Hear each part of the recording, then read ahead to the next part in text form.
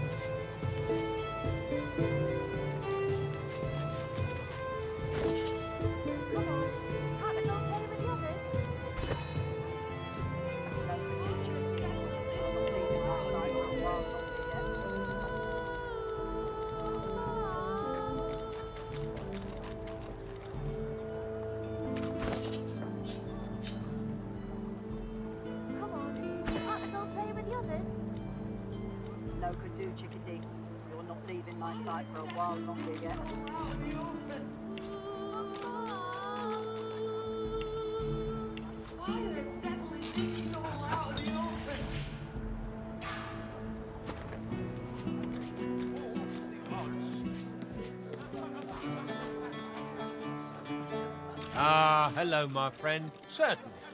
Another bowl? Normally I'd decline, but I do hope to learn something interesting from the cuisine in this place. The cook's reputation really does precede her. And it does smell terribly good, doesn't it? He dips a spoon into the bowl and lifts it to his lips, anticipation apparent on his face. His eyes go wide and his brows furrow, then fall slack. He smiles. Delicious! Not to mention illuminating. Thank you.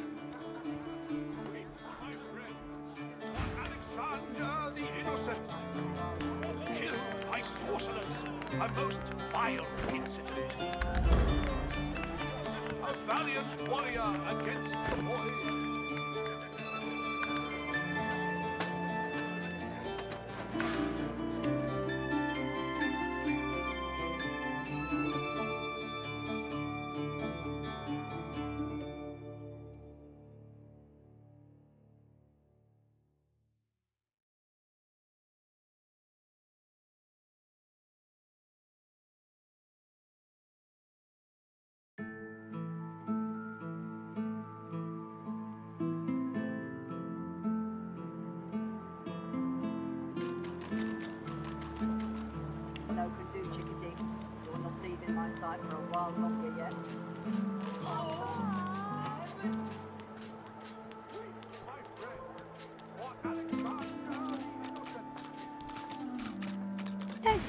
lizard folk around out and about.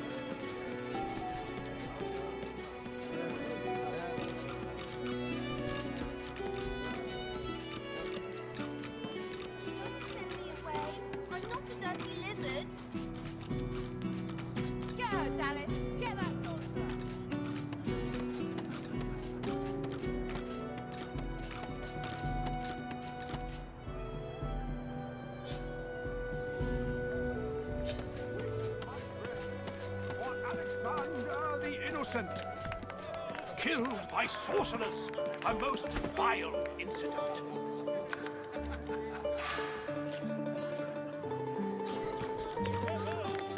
A valiant warrior against the void.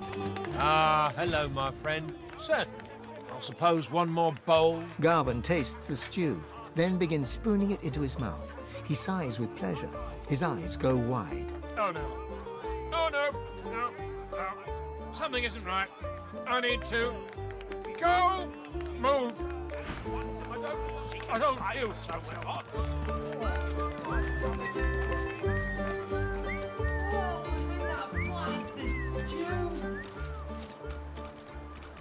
Occupied!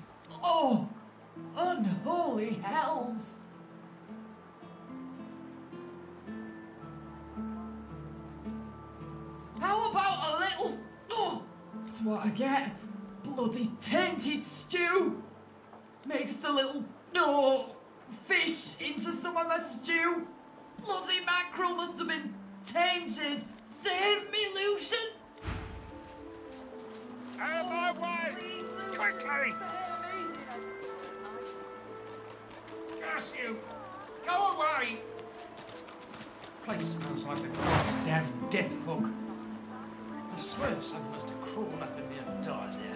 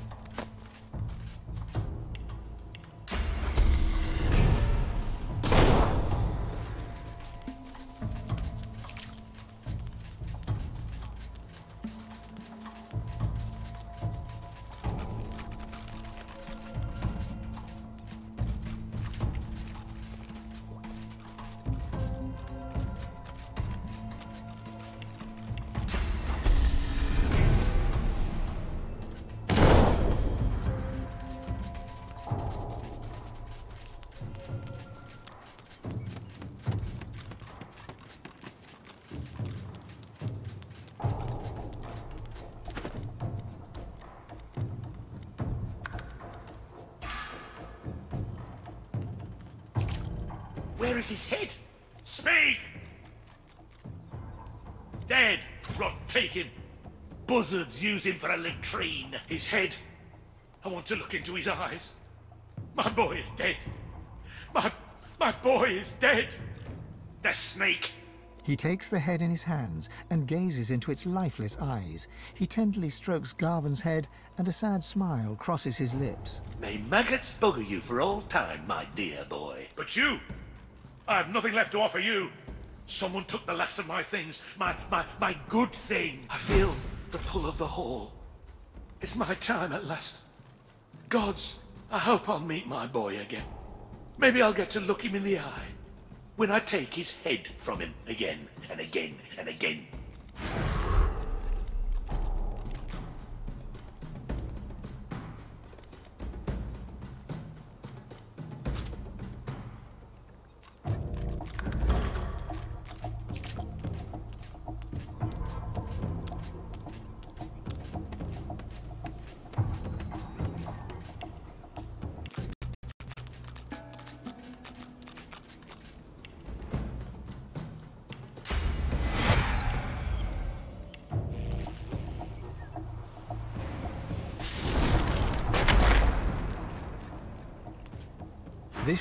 Fills you with your skeleton is still.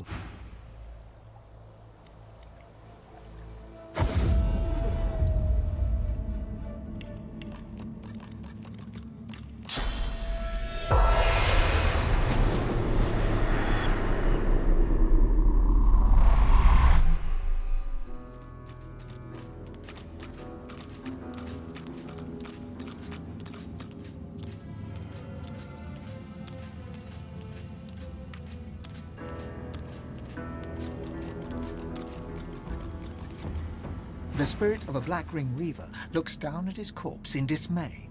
He notices you approach and challenges you in a throaty rasp. You're not one of those blood things.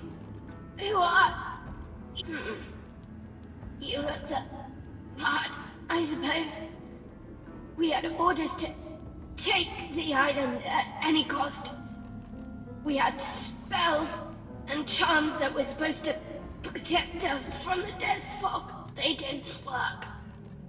Half of us died crossing the water. Me and some others just barely made it. But then these blood beasts attacked us right away. A few made it away.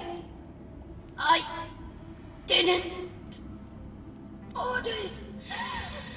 We were told they'd work. No reason to doubt that. One of my comrades used source magic. That saved the rest of us. The death fog already burnt my lungs. But I made it ashore.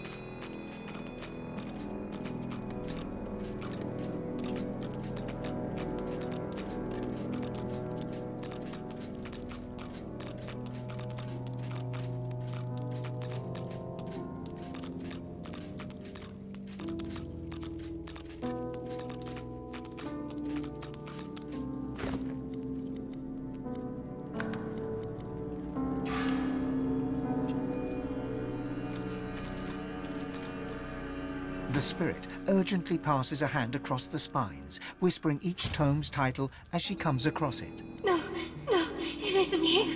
This is impossible. You, my sister, help me find it. There is little time.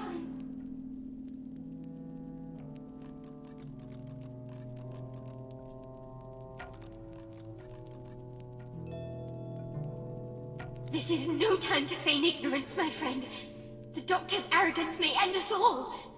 He has released a dark presence upon us. It must never sing the taming.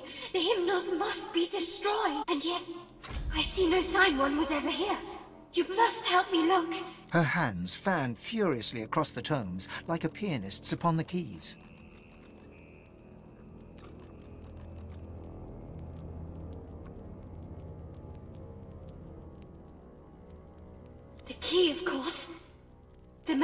Douses the Guardian flames and reveals the vaults. I shudder to think what may happen should their captives be freed. I have presided over this archive for many years. The hymnals were many. How could I not notice their absence? You must be feverish, though I wouldn't be surprised. Dr. David was surely ill to risk all that he's built here. Now be silent. Your questions vex me, and I have no time for idle chatter. She hushes you with an index finger held to her own lips and continues her search.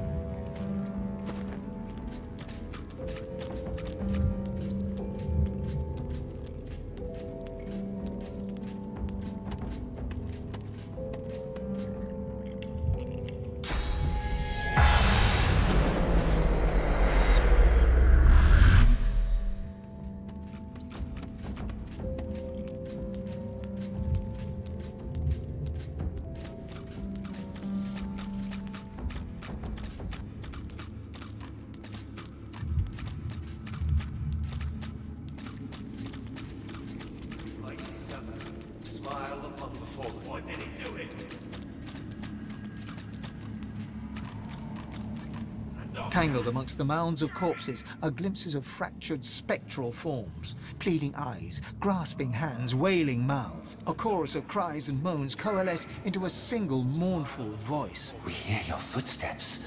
You move like the living. Come closer. Why have you come here? This island is nothing but pain and blood. We cannot help you with such things. We are beyond it. But you have questions. We can feel them. Ask. We are beyond help. There is only pain. We were scholars, priests and priestesses. We sought to study the evils of the world so that we could defeat them. Instead, we were consumed. A dark force erupted from within an innocent, whom we had tried to help. It made this island its own, and killed all that it found. Sister Cleodna, rest your spirit.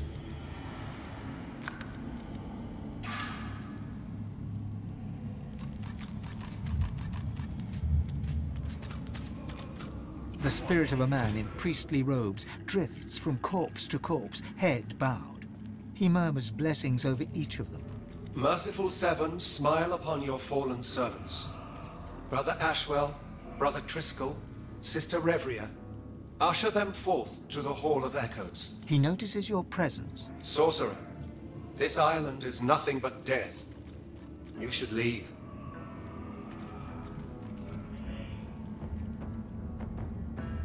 The statues guard the vaults where we kept those who were beyond help. No ritual could cleanse them of the dark forces that infested them, so we sealed them away. We did not use such cruelty lightly. There was no other choice. The statues guard the path. They will grant passage to those who sing from the hymn book, from the archives. I am well versed in such things. I, my brothers and sisters, studied the wondrous, the arcane, the malignant. Easier to fight evil forces when you understand them. Corrupt things have long stalked the fringes of our world. Demons. Here we sought to help those who fell prey to the foul creatures. He casts another rueful look over the mounds of dead. No more. The spirit utters a sigh. Even after having parted from his body, he retains a heavy heart. This island was once a place of learning, of healing. We were Rivellon's sword and shield against the demons who preyed upon the weak. One of our number, a doctor, brought an invalid before us. An elven maiden who had become infested with some presence. It was powerful. Too powerful. So we sealed it and the poor elf it inhabited in our deepest vaults. Sometimes incarceration was the best we could muster in such dire cases. But the doctor who found her was determined to make a name for himself. He attempted a cleansing ritual, but he only served to strengthen the demon's grasp over the elf. The demon possessed him. Soon the whole island was overrun with monstrosities and bathed in blood. Our blood. It's a corrupt place now. No good thing has cause to be here. A spectral mass lies before you. Not one or two beings, but parts of several. Slaughtered together, then left to rot without care or ritual. Disparate glimpses of pain and horror drift past you like a fever dream. A limb is rent from its socket, accompanied by a hollow, ghostly scream. A robed woman crawls away desperately, her face a mask of terror. A sage old dwarf holds his own innards in his hands with bloody bemusement. Grant release to your fallen A ghostly aura rises from the butchered corpses, half-formed impressions of panic, fear, and pain. No single voice rises from the cacophony, perhaps thankfully. Sister Cleodna, rest your spirit.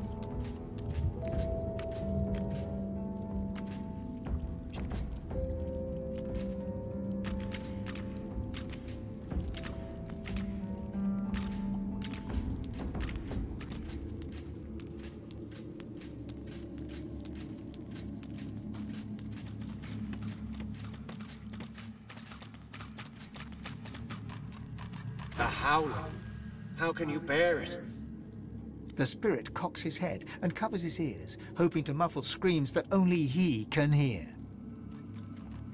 The ancestor tree. The screams came to me on the wind, though I am not sure the devil's breath that perturbs the air here can rightly be called wind. But they've been silenced.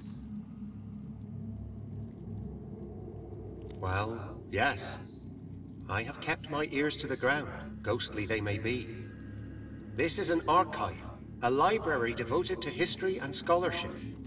There must be a record there of the elf that spawned the corrupted tree. I can't say where its entrance lays. The whispers that speak of the archive are all but drowned by my ancestors' grief. A druid. There are too few of us. Elf kind finds value in flesh where memory lingers. I collect memories, yes, but I am more keen on bark and leaf. On the living breeze, not the sleeping past.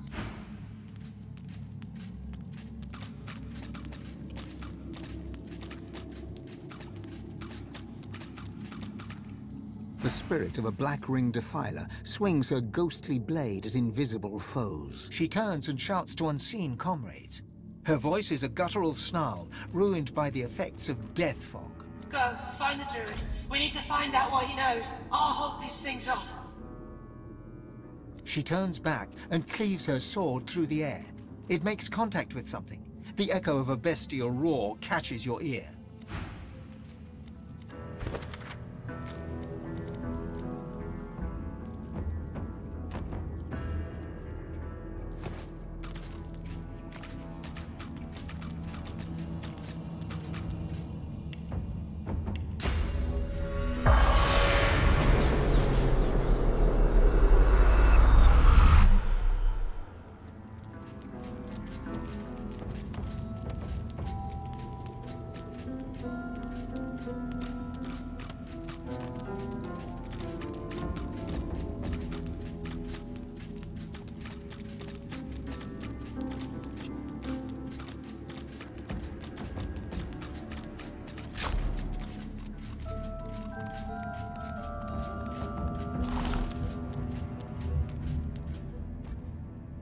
Might expect the stone figure was welcoming you to the island. Looking closer, you notice the statue's clerical garb, so similar to that worn by the ghostly priests bonded to the isle, an unlikely coincidence. The flame still burns and the statue still stands. Even a triple-sized trop...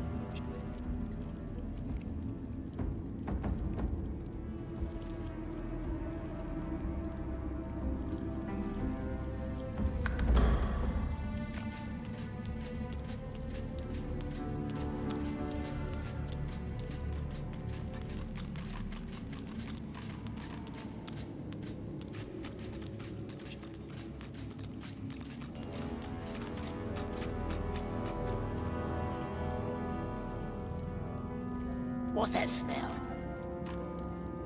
Something delicious.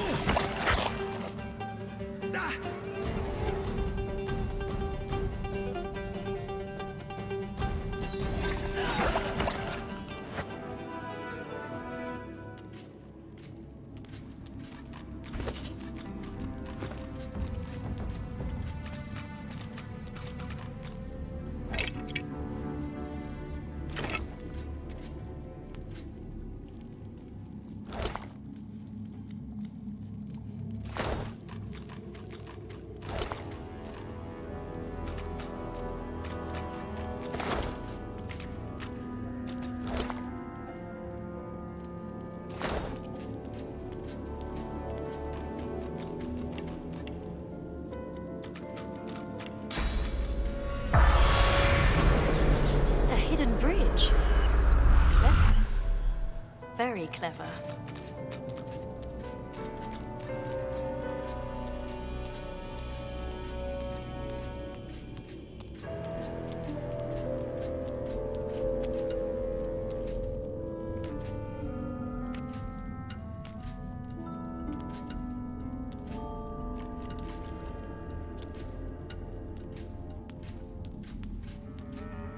The blazing blue flame seems to singe your finger the moment you touch the statue. Somehow, though, the flame still burns and the statue still stands.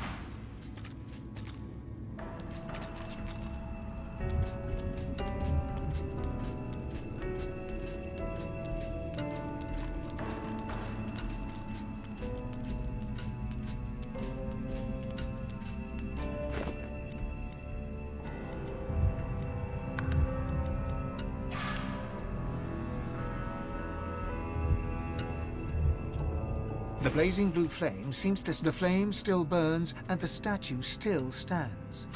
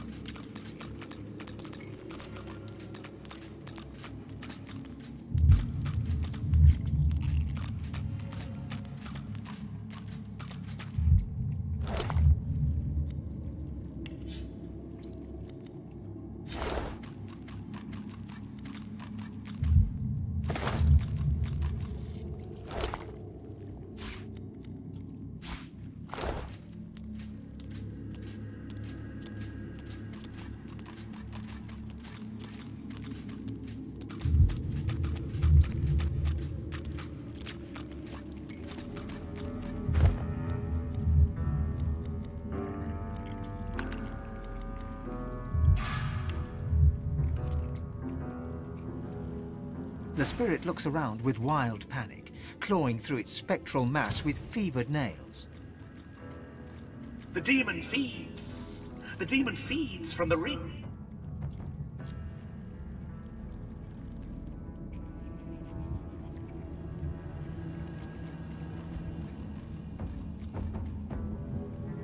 The demon protects. We must know what the demon protects. The demon has an advocate. The advocate kills.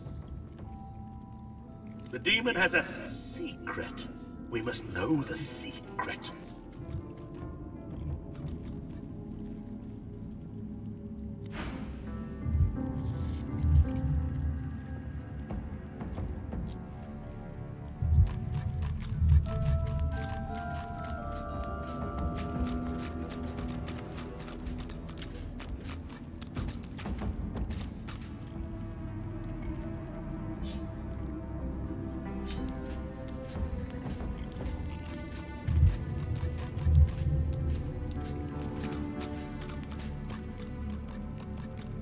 Seven and all the Saints, I ne'er dreamed I'd be grateful to be lying cold on the ground.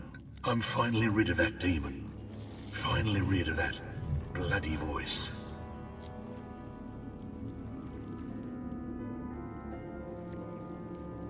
Not much more than you've been told, I'm afraid. She made a deal with some mighty dark forces, and now she's looking for a way out. I'm not sure that even my voice knew the terms. It was all very hush. Suspicion is she's promised to give up something powerful, though.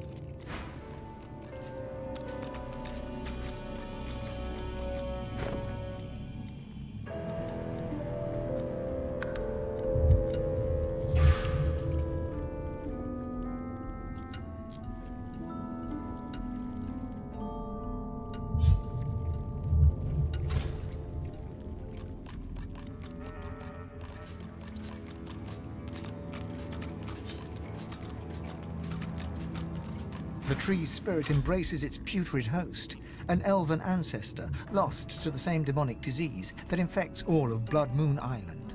Qui mandukad omnio myrdos ex, It quod potest etse.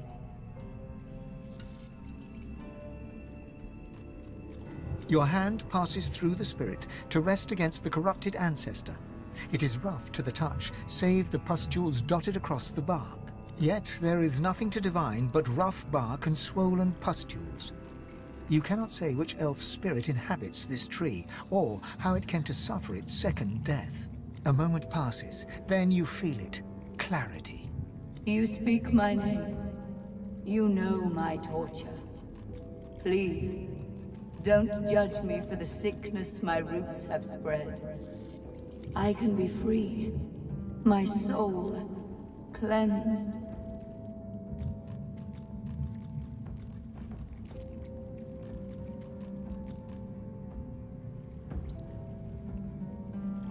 The demon has gone, but I am still its slave.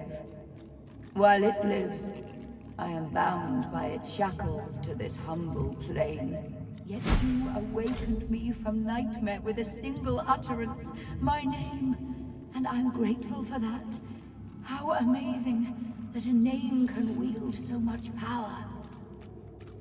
Remember this lesson when you leave Blood Moon Island. The demon blackens another land now. It possesses the very doctor that liberated it. Speak its name, however, and you expose it. You weaken it. You'll know him when you find him. A doctor that accommodates a demon doesn't see patients, only victims. Destroy it, and you free me to the Hall of Echoes. Destroy it, and my roots taint this isle no longer. Now come closer.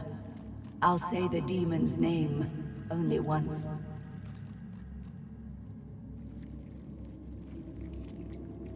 The spirit's voice is a harsh whisper. Adramahlihk. Naivety. Stupidity. Call it what you want. I wished to put the source within me to good use, and demonology seemed as good a use as any. Silly me. I meant to summon an imp or two. Instead, I ended up hosting a damned archdemon. The roaring in my head. The craving for living flesh. Urges. Good gods, the urges to kill. To hurt. The stronger they became, the harder I fought.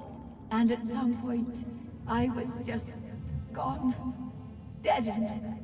But not dead. And then, awake. On an isle I'd never been. Encircled by faces I'd never seen. Watched by a man I'd never known. They called him Doctor. He shouted strange words, and the demon bellowed. Then, one by one, I...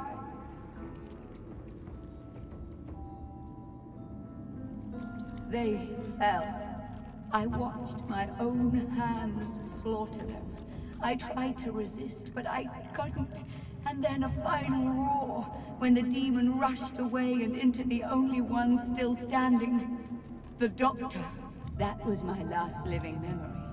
The demon may be gone, but its disease still infects my roots, birthing evil into the surrounding soil. While it lives, I am still its rotting servant. I've suffered. The Isle has suffered, but you can end it.